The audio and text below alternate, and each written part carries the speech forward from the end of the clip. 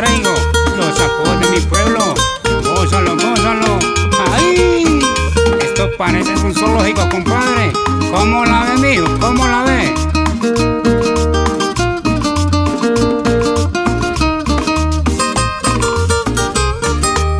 Yo como un buen antioqueño, a mí me gusta pasear, pues me fui para Toledo en esta oportunidad. Pero al llegar al parque, muy feliz de todos modos, la risa que a mí me dio al escuchar tanto apodo. Ahí llamaban los ratones, el mico y al pate palo, y todos muertos de risa.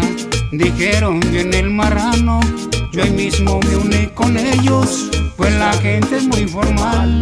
La yuca le dijo al duende, no lo vas a embolatar.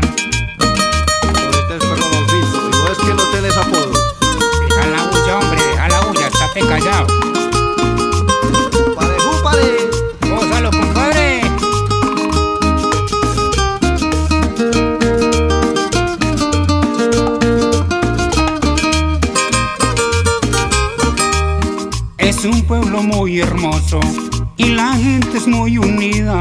Los tabacos y los guaguas, vecinos de Patesidra, los gatos y las culebras viven también en Toledo.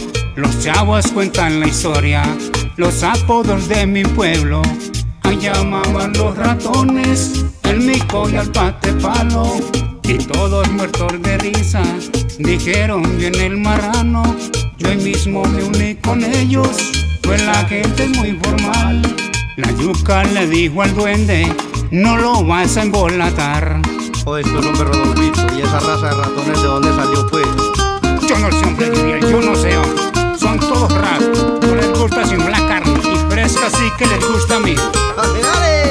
Así yo me la he pasado, recorriendo toda Antioquia y por donde quiera paso.